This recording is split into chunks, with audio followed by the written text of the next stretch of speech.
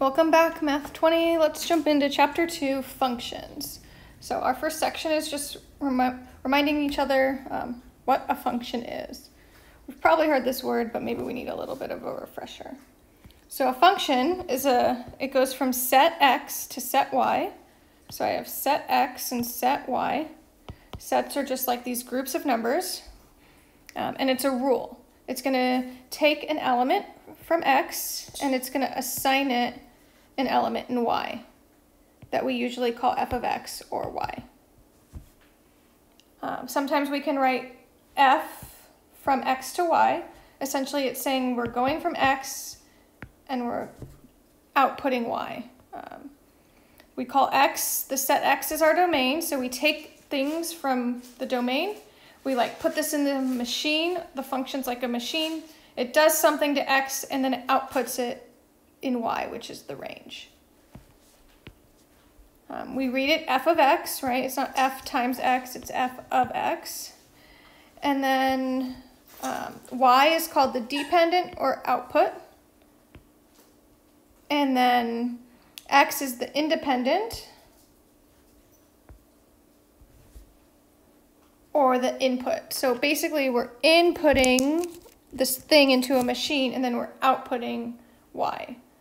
So we'll talk about that as we evaluate functions.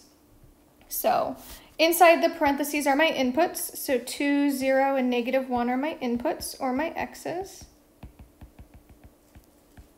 And we're going to put these into our function machine and then we're going to output a new number. So f of 2 means we input 2. So we're going to plug in 2 everywhere we see x. Anytime it's more than a, a single x, I put parentheses. So like x squared, I'll put 2 parentheses squared.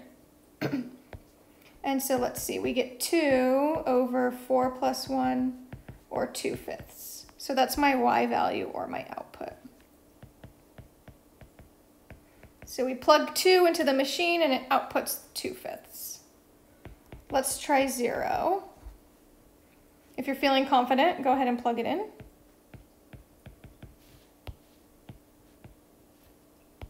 And we get 0 over 1, which is 0. So my input and my output happen to both be 0 here. And let's try negative 1. This is why parentheses are important, which I didn't do for the 0. We're squaring negative 1, so we need to keep that in mind. So we get negative 1. In the denominator, we get negative 1 squared is 1 plus 1. So negative 1 half is my output, or my y value.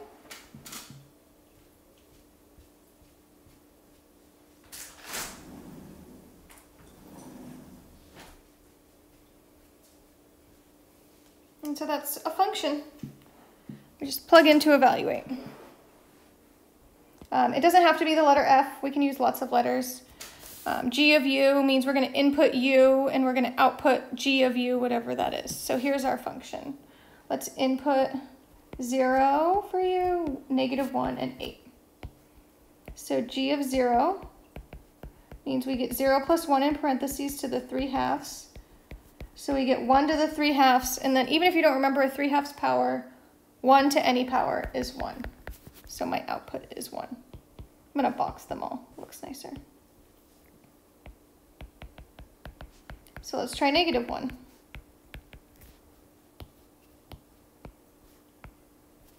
So we get 0 to the 3 halves, and 0 to any power is 0. And let's try 8. This will be a good refresher on powers on this last one. So we get 8 plus 1 is 9 to the 3 halves. And so many of us probably don't remember these powers. So I like to do 1 half and then 3. Because 3 times 1 half or 1 half times 3 is 3 halves. And it's usually easier to do the fraction power on the inside. And then if we remember, and if not, here we go, um, 1 half powers are the same as square roots. So we know the square root of 9 is 3, so then we'll say 3 cubed, which is 27.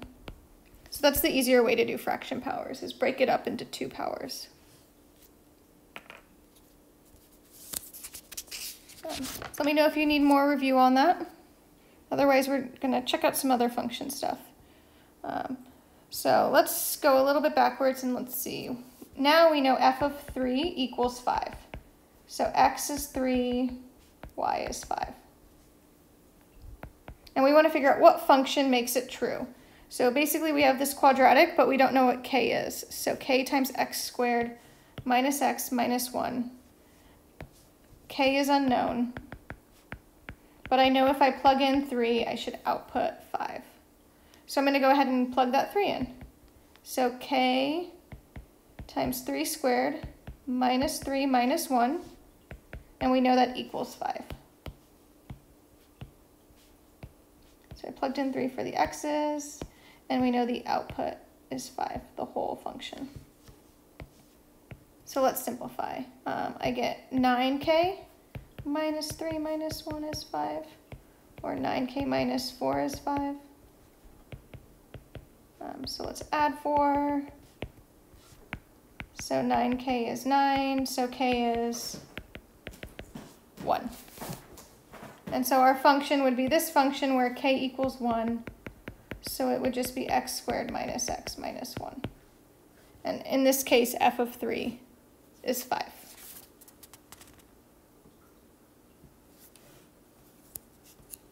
So we'll do domain, domain in the next video.